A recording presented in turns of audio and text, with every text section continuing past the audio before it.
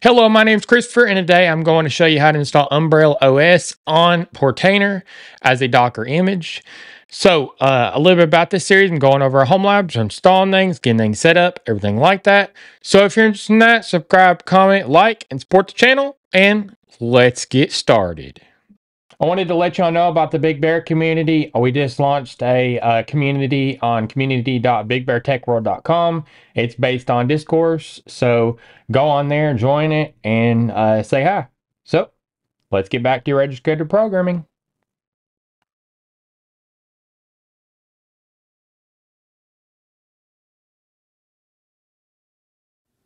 So this is what I'll be installing today, Umbrel uh, I'll be installing it uh, on Portainer because this is packaged up into a Docker image.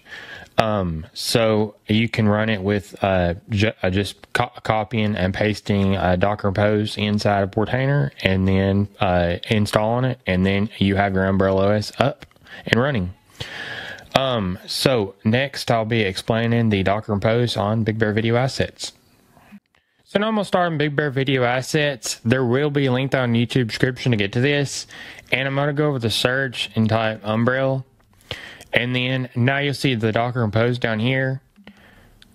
And so now the services and then the first service underneath the services is called Big Bear Umbrel uh, OS. And then the name of the container is set to Big Bear Umbrel OS. And this is so Docker doesn't have to generate a random name and, and then the image down here, so uh, it's on Docker Hub by default because there's no year before this. And this is the Docker image. This is the Docker image tag. And then the container restart policy is set to unless stop. So that means if you stop it for any reason, it will not try to restart. But if it fails any other reason, then it will try to restart. And, and then the ports down here. So 8080 on the host side, and then on the container side is 80. If on the host side it does collide with another port on your host, you can change it to like 8081 or uh, uh, uh, so, something else. So now the volumes, so it's set with a local volume, it's Big Bear Umbrel data, and that's defined right here. And then on the uh, container side is data. And then now you're going to have to give it access to the Docker engine. So var run docker.sock and then var run docker.sock. So on the left side is the host, on the right side is the container. And then we're going to give it a grace period to, uh, to stop. And then now we're going to define the volumes down here. So Big Bear Umbrel data, and then the name, the driver is local. Also on the ports up here, on the right side is the container port. Do not change that port. You can only change the host port right here. So that's a little bit about the Docker Compose. I'm going to go over here to copy raw file. And then I'm going to go over to my Portainer and get this set up. So I wanted to let you know uh, about the Big Bear Club. Uh, uh, uh, you can join it, and it greatly supports this channel, and I very much appreciate it. So uh, if you'd like to join the Big Bear Club, you can go down the YouTube description and uh, go to my Ko-Fi link and join it from there. So let's get back to registered programming. So now I'm going to start on my Portainer and I'm going to go to home, dashboard, and then stacks right here. And then now I'm going to go over to add stack. And then now I'm going to give this stack a name. So I'm going to give it Umbrel. And then I'm going to come down here to the web editor and I'm going to paste in the Docker Compose I copied from Big Bear Video Assets. And then once you do that, you should be good. So I'm going to just say deploy the stack down here. And what that done is it downloaded the Docker image off the registry, got it extracted, and got it up with Docker Buzz underneath because it is using the Docker engine. Um, so now we have the stack up and running. So now if you start on stacks right here, and then you come over here to your stack, you click it, um, you'll see stack up here and editor, and, and, and then the actions down here for the stack are stop the stack, delete the stack, and then create template from the stack stack duplication slash migration.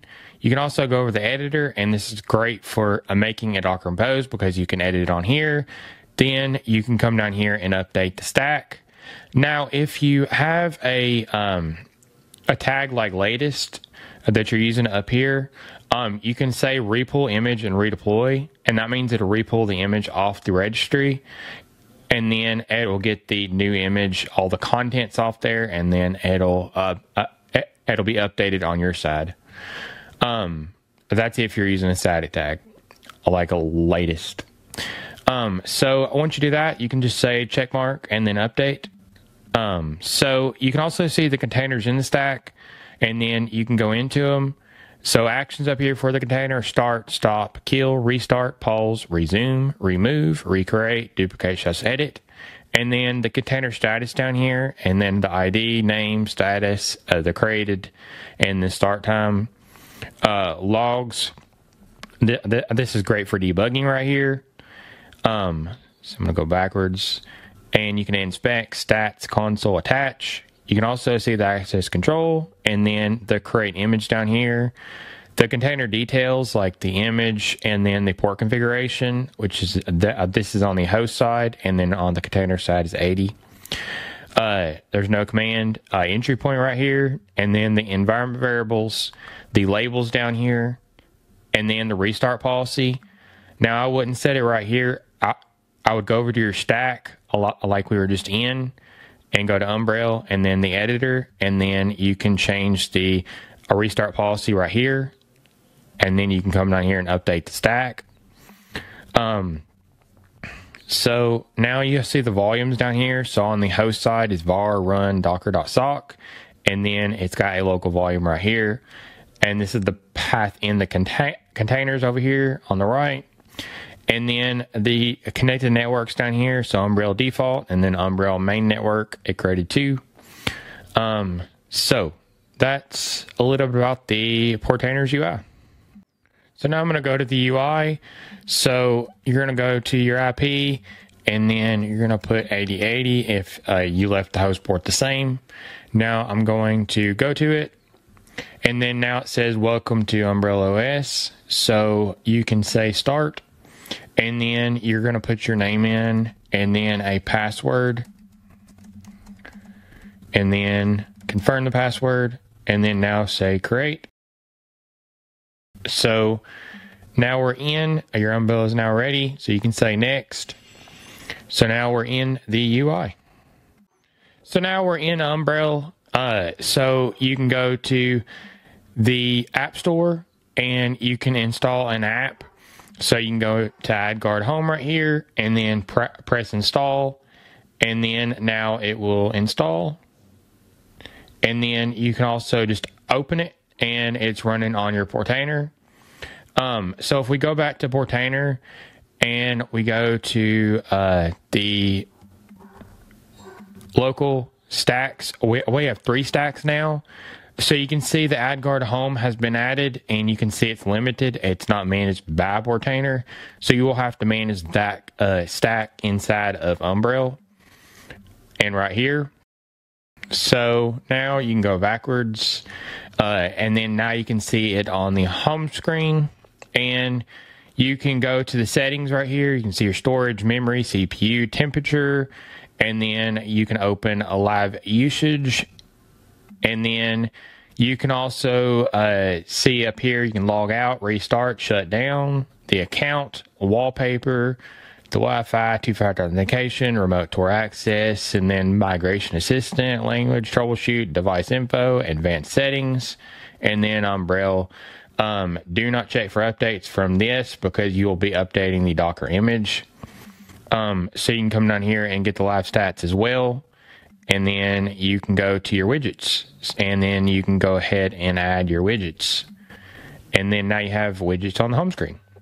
So that's a little bit about umbrel os so i just went over step by step on getting umbrel os working on portainer as a docker image. So if you like this tutorial subscribe comment like and support the channel. And if you have any video sessions or need community support you can go down to the Big Bear community and join our forum. There's a link in the YouTube description, so stay tuned for more.